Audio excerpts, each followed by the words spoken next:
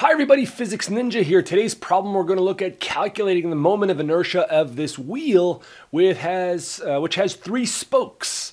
Uh, the goal is going to be to calculate it with respect to three different axes. The axis A goes um, right through the center of mass of the object. Uh, axis B and C are along the rim. So how would you calculate the moment of inertia if I was rotating this wheel about those three different axes? Now we're going to assume that the mass of each spoke, uh, there's three of them, is m, and it's also equal to uh, the mass of the wheel. So how would you kind of use our formulas for moment of inertia to calculate the total moment of inertia of this more complex object? All right, like with all my videos, if you like it, give it a thumbs up. Consider subscribing to Physics Ninja. And if you have the means, consider giving a super thanks. A dollar or two goes a long way into helping me. All right, let's get started. All right, so we're first going to consider the case of the moment of inertia uh, through the axis A, that is through the center. You can see it right here, okay? In the center of those three spokes and in the center of the hoop. The next thing we need is we're going to look up the values of the moment of inertia of different objects. And for that, you go in your textbook and you should find a table that might look similar to this one. So typically there are a lot of different objects. They could be disks, rings, rods, spheres, for example, or just point masses like satellites. And what you do is these moment of inertias are typically through the center of each object.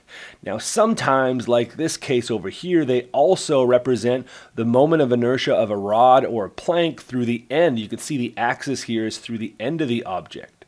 So the value is a little bit different. But most of the other cases are always through the center. So now we consider our wheel here. So what do we have? We have, our wheel is made up of what? One hoop, and for the first case, we're rotating it through the center. So the moment of inertia, you can represent the hoop by a ring. So the moment of inertia is simply the mass of the object, which is m. Right? In my case, the mass of the hoop is equal to the mass of each spoke. And the radius is simply r. So you do mr squared is for the hoop. Now what do we have? We have three spokes. Well, what is the spokes moment of inertia? Now think about one of these spokes right here. Um, there are two values for the moment of inertia of a spoke. Uh, there's this guy right here. That is if I was rotating a rod through the center. But I'm not. I am rotating each one of these spokes through the end of the spoke. So actually for the spokes, I really should use this second result, which is one third mass of the spoke, and L is the total length of the spoke. For us, the length of the spoke is simply equal to the radius of the wheel, so that simplifies our result. So for each spoke, guess what? For each spoke, I get one third m, and the length is r. So you have to do r squared. And now I also have three of those. So I have to multiply each one, um, uh, the result of one spoke by three to get the total moment of inertia of the spokes. All right, now what do you do? Well, all you have to do now is simply add them up. So our total moment of inertia and I'm going to write the little a here through that axis, through the center of mass, is the moment of inertia of the hoop plus the moment of inertia of the spokes. So this is pretty straightforward. So you get mr squared here plus, now I add this, you multiply the 3 and the 3 can cancel over here. Um, then you're left with another term, which is mr squared. Okay, uh, so in this case here, my final moment of inertia through the center of mass is simply going to be 2 mr squared. Okay, uh, this is how you can calculate the moment of inertia of a more complicated object by building it up and using our formulas from a table. All right, for our second part, we're interested in what is the moment of inertia through axis B. Uh, axis B is right here. And again, this axis runs in and out of the page right here. Now, the one thing that is important about axis B is that it is parallel to axis A. That is really, really important. Now, if you wanted to calculate the moment of inertia of this entire object with respect to axis B, um, a trick here and one of the keys to understanding this problem is to use the parallel axis theorem. Okay? The parallel axis theorem says this, the moment of inertia through an axis that is parallel, so I'm just going to write here, parallel, uh, to the axis that runs through the center of mass. Okay, so in this case, axis B is parallel to axis A. The way you calculate it is you simply take the moment of inertia of your complicated object through the center of mass. So for us, guess what? This term here is simply the moment of inertia through axis A. That's what we calculate in part one. But we have to add a correction term. And the correction term looks like this. It's the total mass of the object multiplied by, it's sometimes written as d squared, okay? And d here is the distance between both of those axes. So in this case, it's the distance between what? It's the distance between A and B, that's it. So for us, our value d is simply equal to the radius of the wheel.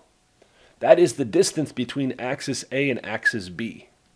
So this is, becomes a pretty straightforward problem if you use the parallel axis theorem. So I would say that the moment of inertia through axis B in this case is equal to the moment of inertia through axis A plus. Now let's think about this correction term. The correction term is the total mass. What's the total mass of the object? For us, it is 4m. That's the total mass of the object. And again, I said my value d was simply equal to r. So here you have r squared. All right, put everything together now. So what do we have for moment of inertia of A? That's written up top. We have 2mr squared, and then plus 4mr squared. So at the end, I get that my moment of inertia through axis B is equal to 6mr squared. The one thing we notice is that the moment of inertia through any axis that is parallel to the center of mass is going to result that the moment of inertia that we get is bigger than IA. All right, that's a great problem and a great application of this parallel axis theorem here. All right, in the last case, we're going to consider the moment of inertia through axis C. Axis C is located right here on the rim of the wheel. Now, one thing we can use again, have a look. This axis runs in and out of the page. The axis is also parallel to axis C. So guess what we're doing? We're using the parallel axis theorem. And one thing you should note is that, well, if you just blindly just apply this formula, this is what you would get. You'd get the moment of inertia through the center of mass is IA plus the total mass, which is m4. And then the distance from axis C to axis A is this guy right here. That is also the radius, right? So you do radius squared here. At the end, guess what you get? You get 6mr squared. That is the moment of inertia through axis C. All right, pretty straightforward. You notice some things here. That our moment of inertia through axis B is equal to axis C. It would be equal to any axis that is anywhere on this rim, okay, because they are the same distance away from the center of mass of the object. And we also notice that both of those moment of inertias are bigger than the moment of inertia through the center of mass. Okay, so this is the relationship between all of those three values. All right, folks, that's it for me. Hopefully you appreciate this video and you learn how to use the parallel axis theorem to find the moment of inertia through a complicated object. We'll see you next time.